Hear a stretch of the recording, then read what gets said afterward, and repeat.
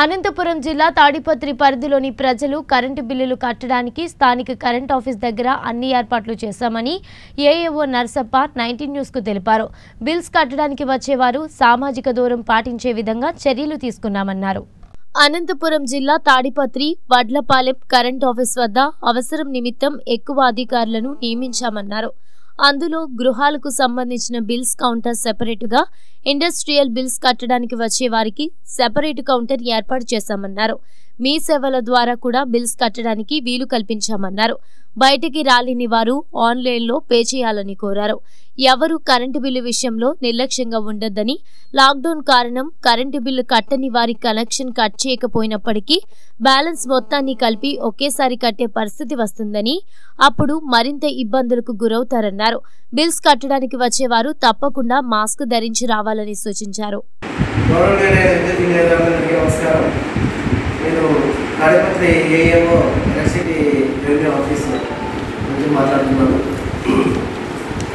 విద్యుత్ వినియోగదారులకు ముఖ్య విజ్ఞప్తి వినవము మీ యొక్క విద్యుత్ బిల్లులను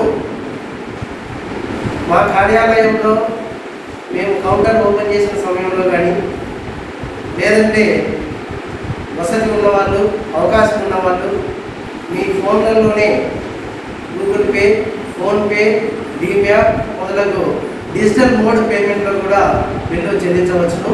ఇంట్లోనే ఉండి ఈ కరోనా ఎమర్జెన్సీ పీరియడ్ నేపథ్యంలో ప్రతి ఒక్కరు కూడా సాధ్యమైనంత వరకు ఇంటి దగ్గరే ఇంట్లోనే ఉండి సేఫ్టీగా ఉండి విద్యుత్ బిల్లులను చెల్లించే అవకాశం కూడా డిజిటల్ పేమెంట్ ద్వారా ఉంటుంది. లేదా మీకు రిలాక్సేషన్ ఇచ్చిన టైంలో మా యొక్క కార్యాలయంలో కరెంట్ ఆఫీస్ కార్యాలయము శ్రీనివాసపురం దగ్గర ఉండేటువంటి మెయిన్ ఆఫీస్ కార్యాలయంలో ఇరవై రెండు కౌంటర్లు నడుపుతున్నాము. అదేవిధంగా సిబి రోడ్లో యమగిరి రెస్టారెంట్ వెనక వైపు ఉన్న మా ఏఈ ఆఫీస్ కార్యాలయంలో కూడా ఒక కౌంటర్ మెయింటైన్ జరుగుతూ ఉంది. మీకు రిలాక్సేషన్ ఇచ్చినటువంటి సమయంలో అక్కడ వచ్చి బిల్లు చెల్లించవచ్చును. గృహ వినియోగదారులకు సంబంధించి ఈ మూడు కౌంటర్లు నడుపుతున్నాము.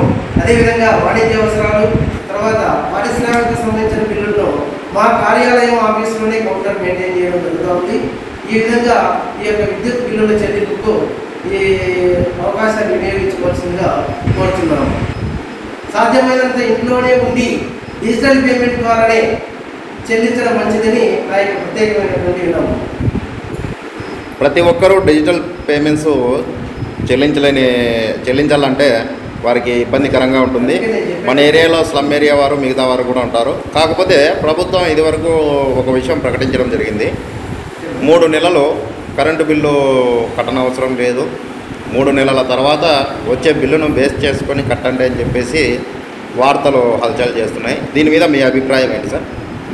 అంటే ఈ మూడు నెలలు బిల్లు కట్టనవసరం లేదు అనేటువంటి దాని గురించి మా పై అధికారుల నుంచి మా పై ఆఫీస్ నుంచి ఎలాంటి ఉత్తర్వులు లేవండి.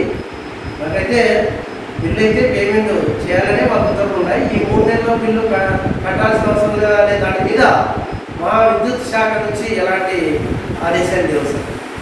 అంటే ఎవరైనా బీదవారు సమయానికి కట్టలేకపోతే వారి మీద ఫైన్ వేయబడుతుందా వేయబడదా సార్?